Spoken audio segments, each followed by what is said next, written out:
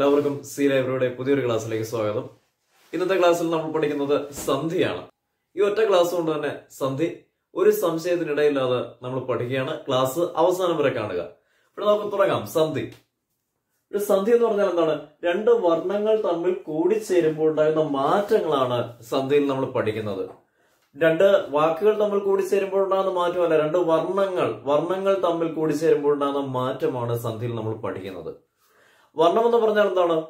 വിഭജിക്കുവാൻ സാധിക്കാത്ത ഒരു സ്വരമാണ് വർണം. പിന്നെയും വിഭജിക്കുവാൻ സാധിക്കാത്ത ഒരു ശബ്ദമാണ്. ഒരു സ്വര ശബ്ദം ഒരു ശബ്ദമാണ് വർണം എന്ന് പറയുന്നത്. ഇതാ നോക്കുക.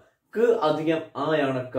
മ അധികം ആ. മ. ല അധികം ആ. ല. ഈ ക് മ ലും ആയും ഒക്കെയാണ്.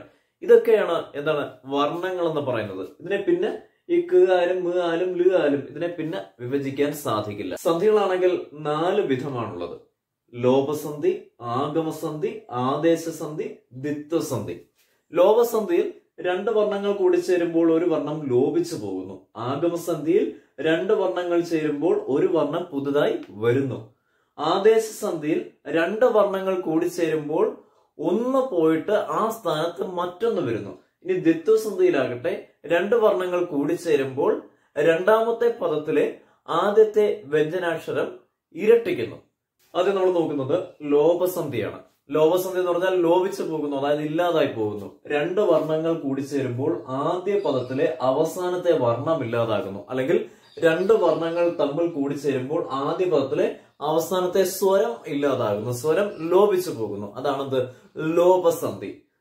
ഇല്ലെന്ന് നമ്മൾ പിരിച്ചെഴുതുമ്പോൾ എങ്ങനെ വരും? ഇല്ല അധികം എന്ന്. ആദ്യത്തെ പദം ഇല്ല. ഇല്ലയിലെ അവസാനത്തെ വർണം ഏതാണ്? ഇല്ല. ആ അല്ലേ? അവസാനത്തെ വർണം അല്ലെങ്കിൽ അവസാനത്തെ സ്വരം ഏതാണ്? ആ. അത് ഇവിടെ വന്നപ്പോൾ ഇല്ലാതായി. ഇല്ലെന്ന്. അപ്പോഴേ അകാരം ഇവിടെ ലോപിച്ചു. അകാരം ആദ്യത്തെ പദത്തിലെ അകാരം ഇവിടെ ലോപിച്ചു പോയി. രണ്ടാമത്തെ പദം നോക്കുക. വന്നില്ല. വന്നു അധികം ഇല്ല. വന്നു. ആദ്യത്തെ പദം അവസാനിക്കുന്നത് എന്താണ്? ഒരു ഉകാരത്തിലാണ്. ഉ എന്ന സ്വരത്തിലാണ് അല്ലെങ്കിൽ വർണത്തിലാണ്. അതിവിടെ വന്നപ്പോഴ് പോയല്ലോ? വന്നില്ല. ഉകാരം ലോപിച്ചു. ഇനി അത് അധികം എങ്കിൽ അതെങ്കിൽ ഇവിടെ അത് ഇതൊരു സമൃദ്ധ ഉകാരത്തിലാണ് അവസാനിക്കുന്നത്. സമൃദ്ധോകാരം സമൃദ്ധോകാരം അതായത് ഈ ചന്ദ്രകല ചേർത്ത് പറയുന്ന സ്വരങ്ങൾക്കാണ് എന്ത് പറയുന്നത്? സമൃദ്ധോകാരം എന്ന് പറയുന്നത്. ഇവിടെ ആദ്യത്തെ പദത്തിലെ ഈ ചന്ദ്രകല ചേർത്തുള്ള സ്വരമാണെങ്കിൽ ശബ്ദമാണെങ്കിൽ എന്ത് ചെയ്യുന്നു? ലോപിച്ചു പോകുന്നു. അതെങ്കിൽ ഇവിടെ സമൃദ്ധോകാരമാണ് ഇല്ലാതായത്. അപ്പോൾ മനസ്സിലായല്ലോ ലോപസന്ധി. ലോപസന്ധിയിൽ മനസ്സിലാക്കേണ്ട എന്താണ്? പദങ്ങളെ പിരിച്ചെഴുതുമ്പോൾ ആദ്യ പദത്തിലെ അവസാനത്തെ വർണം അല്ലെങ്കിൽ ആദ്യ പദത്തിലെ അവസാനത്തെ സ്വരം കൂടിച്ചേരുമ്പോൾ പോവുകയാണെങ്കിൽ അവിടെ എന്താണ്?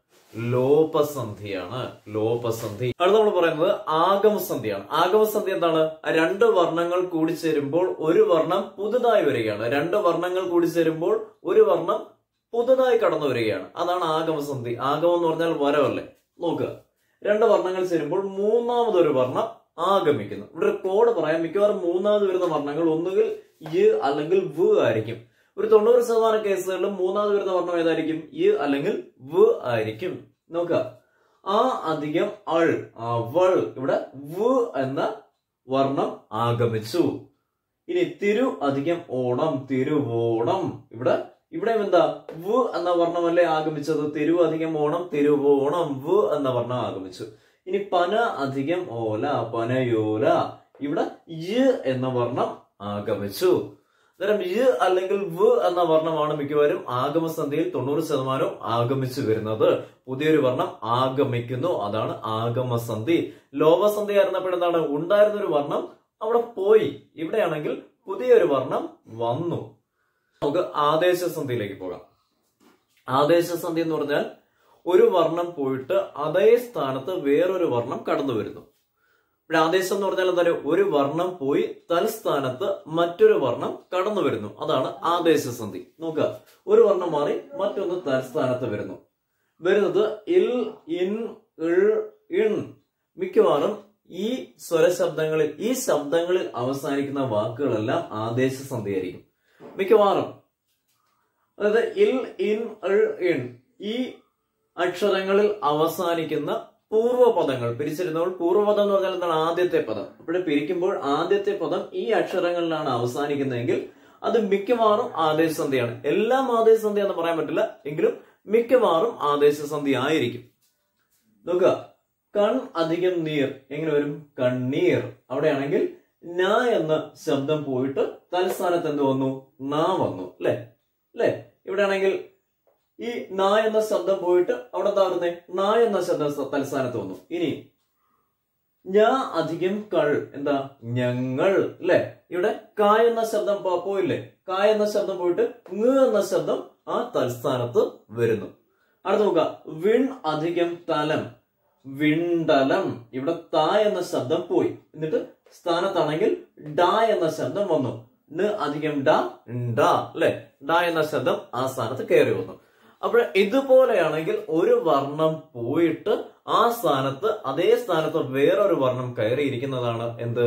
ആദേശസന്ധി. മനസ്സിലായല്ലോ? ഇനി ഡൗട്ട് വരില്ലല്ലോ. ഏറ്റവും ഒടുവിലെത്തത് ദിത്വസന്ധിയാണ്. ദിത്വസന്ധി എന്ന് പറഞ്ഞാൽ രണ്ട് വർണങ്ങൾ തമ്മിൽ കൂടിച്ചേരുമ്പോൾ ഉത്തരപദത്തിലെ വ്യഞ്ജനാക്ഷരം ഇരട്ടിക്കാണ് ഉത്തരപദത്തിലെ എന്ന് പറഞ്ഞാൽ എന്താണ്? രണ്ടാമത്തെ പദത്തിലെ രണ്ടാമത്തെ പദത്തിലെ ആദ്യത്തെ വ്യഞ്ജനാക്ഷരം ഇരട്ടിക്കുകയാണ്. ഇവിടെ രണ്ട് വർണങ്ങൾ ചേരുമ്പോൾ ഉത്തരപദത്തിലെ അതായത് രണ്ടാമത്തെ പദത്തിലെ ആദ്യത്തെ വ്യഞ്ജനാക്ഷരം ഇരട്ടിക്കുന്നു. അതാണ് ദിത്വസന്ധി. പടി അധികം കൽ. എന്താണ്? പടിക്കൽ. ഇവിടെ ക എന്ന ശബ്ദം ഇക്കായിട്ട് മാറി അല്ലെ? ഇനി ഈ അധികം കാലം രണ്ടാമത്തെ പദം. രണ്ടാമത്തെ പദത്തിൽ ക എന്ന വ്യഞ്ജനാക്ഷരം ഇക്കായിട്ട് മാറി ഇക്കാലം.